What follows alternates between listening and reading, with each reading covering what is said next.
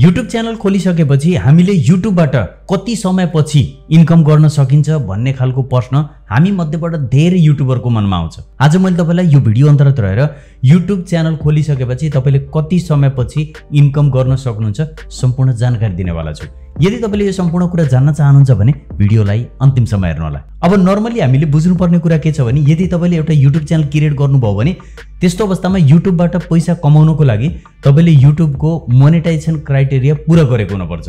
Monetisation criteria यस्तो criteria हो जसलाई पुरा गरिसकेपछि तपाईँले एडसेन्स एकाउन्ट बनाउन सक्नुहुन्छ जसले गर्दाखेरि तपाईँले कमाएको सम्पूर्ण पैसा एडसेन्स एकाउन्टको थ्रु तपाईँको ब्याङ्कमा युट्युबले पठाउने गर्छ। र मोनेटाइजेसनको क्राइटेरिया के छ भने यदि तपाईँले लङ टर्मको भिडियो बनाउनुहुन्छ भने त्यस्तो अवस्थामा तपाईँले आफ्नो च्यानलमा एक हजार सब्सक्राइबर र चार हजार घन्टाको वाच टाइम पुरा गरेको हुनुपर्छ। यदि तपाईँले यो पुरा गर्न सक्नुभयो अन्तिम तिन सय पैँसठी दिनमा भने तपाईँको च्यानल मोनेटाइजेसनको लागि इलिजिबल हुन्छ। यो अन्तिम तिन सय पैँसठी दिन भनेर कुनै फिक्स हुँदैन। यदि तपाईँले च्यानल आज सुरुवात गर्नुभयो तपाईँले भिडियो धेरैभन्दा धेरै अपलोड गर्न थाल्नुभयो भने छिट्टै तपाईँले यो क्राइटेरिया पुरा गर्न सक्नुहुन्छ। यसको अर्थ तपाईँले दस दिनमा पनि यो क्राइटेरिया पुरा गर्न सक्नुहुन्छ। दस दिनमा यो क्राइटेरिया पुरा भयो भने तपाईँले सजिलैसँग दस दिनबाट नै तपाईँको च्यानललाई मोनिटाइज गराउन सक्नुहुन्छ। अब कुरो आउँछ यदि तपाईँले सर्ट च्यानल क्रिएट गर्नुहुन्छ भने सर्टबाट पनि हामीले इन्कम गर्न सक्छौँ। सर्ट च्यानल बनाइसकेपछि तपाईँले सर्ट च्यानलमा बनाएका जति पनि भिडियोहरू हुन्छन् त्यो भिडियोहरूमा last ninety डेजमा approximately ten million views gain गर्न सक्नुभयो भने तपाईँको च्यानल मोनिटाइजेसनको लागि इलिजिबल हुन्छ। सर्ट मोनिटाइजेसनको लागि इलिजिबल हुनको लागि एक हजार सब्सक्राइबर त रिक्वायरमेन्ट हुन्छ नै। साथसाथै तपाईँले टेन मिलियन भ्युज पनि क्रस गरेको हुनुपर्छ आफ्ना सम्पूर्ण भिडियोमा। भनेपछि आफ्ना जति पनि सर्ट भिडियो तपाईँले बनाउनु भएको छ त्यस्तो अवस्थामा तपाईँले आफ्नो च्यानललाई मोनिटाइज गराउन सक्नुहुन्छ। अब कुरो आउँछ कि हामीले पहिलेबाट पहिलेबाट हाम्रो च्यानलबाट इन्कम गर्छौँ। यसमा कुनै पनि फिक्स हुँदैन कि तपाईँले कहिलेबाट इन्कम गर्नुहुन्छ। जस्तै तपाईँलाई मैले आफ्नै एक्जाम्पल दिन्छु स्टार्टिङमा मैले आफ्नो च्यानल सुरुवात गरेको थिएँ अगस्त अगस्त सात दुई हजार सत्रबाट।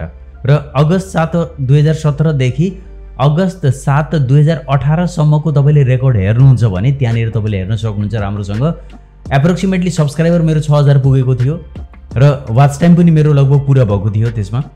र साथसाथै तपाईँले त्यहाँनिर हेर्न सक्नुहुन्छ इन्कम भन्ने हो भने जम्मा एट्टी वान रुपिज भएको छ।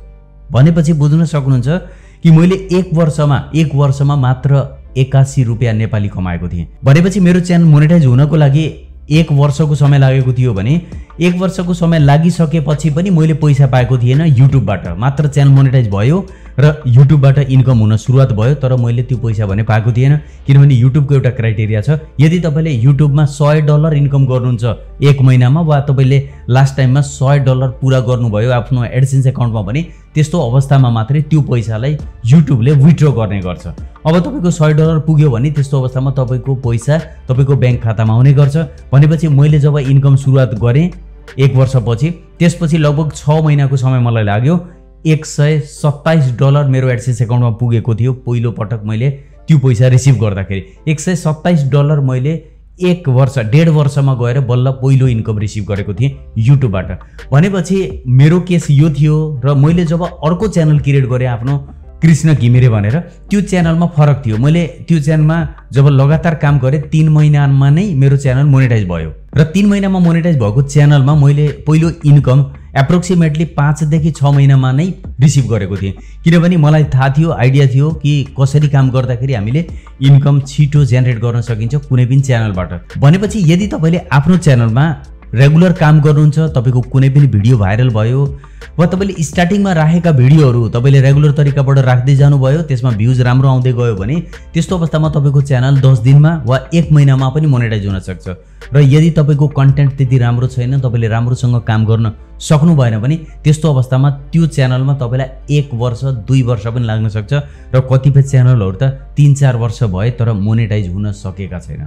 भनेपछि तपाईँले बुझ्नुपर्छ तपाईँ यदि रेगुलर तरिकाबाट क्वालिटी कन्टेन्ट दिन सक्नुहुन्छ र भ्युवरहरूलाई जुन रिक्वायरमेन्ट छ त्यो पुरा गरिदिन सक्नुहुन्छ भने बल्ल मात्रै तपाईँले आफ्नो युट्युब च्यानलबाट इन्कम गर्न सक्नुहुन्छ। त्यसैले गर्दा तपाईँले यति नै समयमा युट्युबबाट इन्कम गर्न सक्नुहुन्छ भन्ने फिक्स हुँदैन तर रेगुलर तरिकाबाट तपाईँले काम गर्नुभयो तपाईँले कन्टेन्टमा ध्यान दिनुभयो युनिक तरिकाको कन्टेन्ट राख्नुभयो ट्रेन्डिङ टपिकलाई टाइममा छोप्नुभयो भने त्यस्तो अवस्थामा तपाईँले आफ्नो च्यानललाई छिट्टै मोनिटाइज गराएर इन्कम गर्न सक्नुहुन्छ। आशा गर्दछु यो भिडियो हेरिसकेपछि तपाईँले पनि युट्युबबाट कति समयमा हामीले इन्कम गर्न सक्छौँ यो सम्पूर्ण कुरा राम्रोसँग बुझ्नुभएको छ। भिडियो तपाईँलाई कस्तो लाग्यो कमेन्ट सेक्सनमा कमेन्ट राखिदिनु होला साथीहरूमाझ भिडियोलाई सेयर गरिदिनु होला च्यानलमा पहिलोपटक आउनुभएको छ भने च्यानललाई सब्सक्राइब गरिदिनु होला किनभने यस्तै भिडियो मैले तपाईँहरूको लागि ल्याइरहेको छु।